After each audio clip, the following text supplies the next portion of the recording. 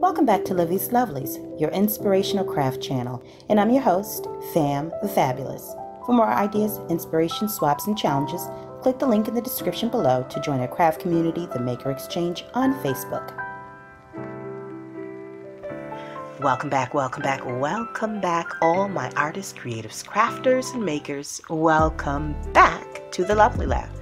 So, today I am coming on for a quick 20 minute scrap busting session, okay? In which I plan to use the scraps that I have in this bag. This is not all my scraps, but this is just what I've accumulated over the past couple of months after projects and decent sized scraps um, or ones that I of with paper that I really like.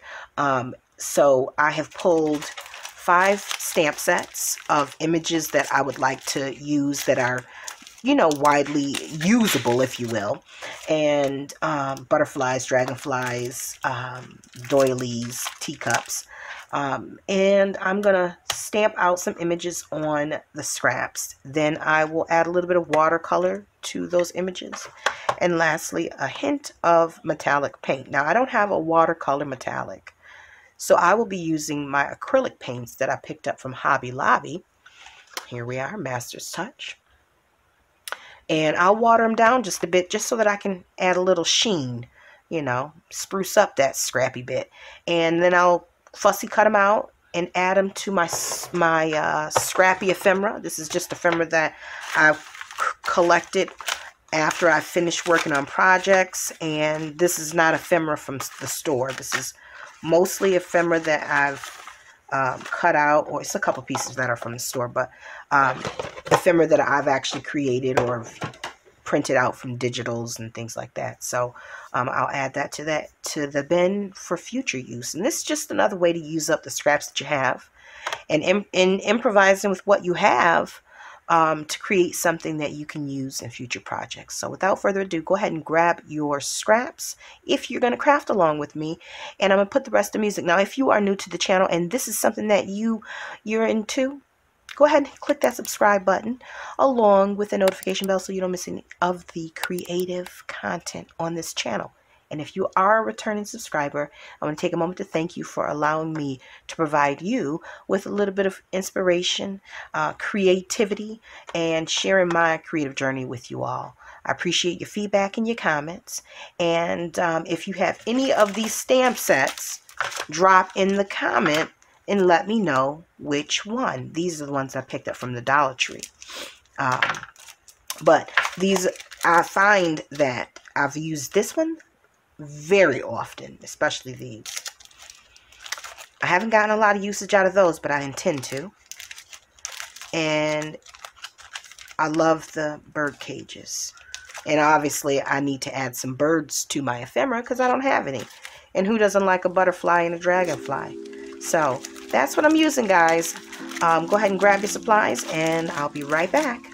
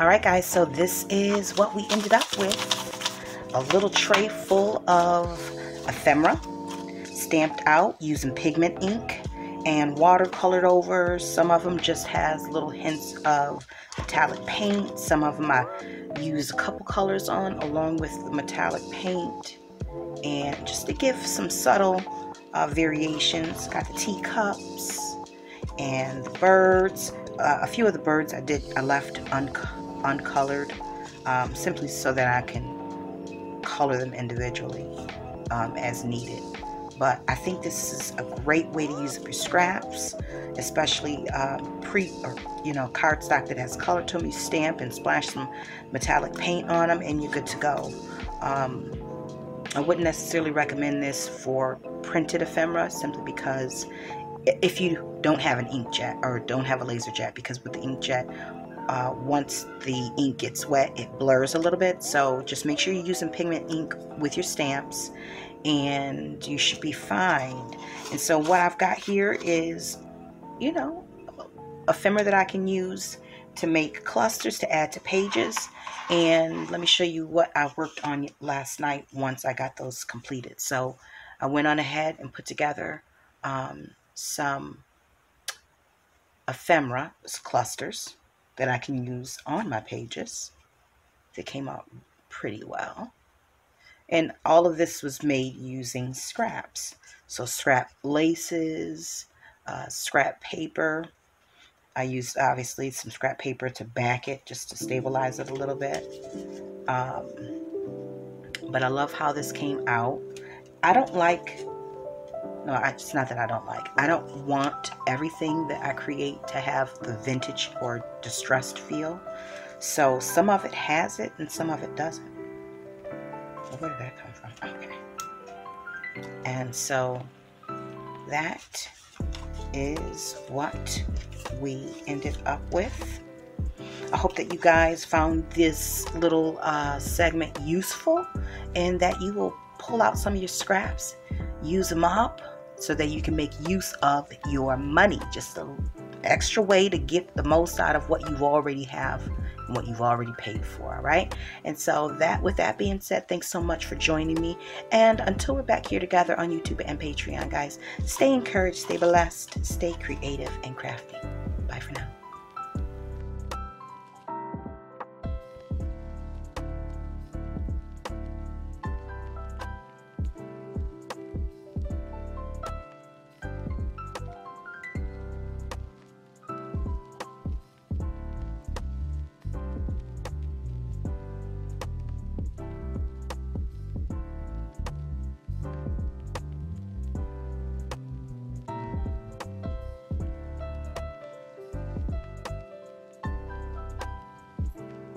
If you enjoyed this video, go ahead and give it a thumbs up. Hit subscribe to join the crafty community and be sure to click the bell for notifications of new uploads. Thank you so much for watching. Now stay tuned for more from Livie's Lovelies, your inspirational craft channel. Bye for now.